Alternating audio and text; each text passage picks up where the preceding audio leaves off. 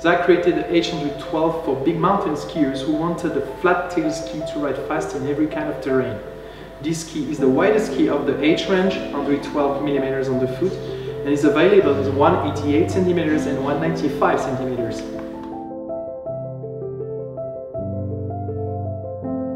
The punchy flex and the normal camber on the foot make this ski really dynamic and amazingly stable with high speed in every kind of terrain. The tip rocker will let you charge in deep snow while the short tail rocker will help you to turn short. The heavy duty wood core is made for intense freeride skiing and the stiff flex and torsion help the ski to remain stable.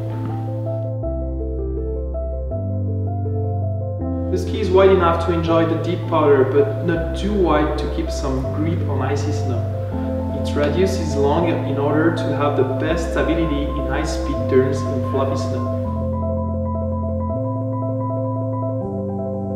This ski is made for the best free skiers who look for an unsinkable and stable ski to drop cliffs and ride fast in deep powder.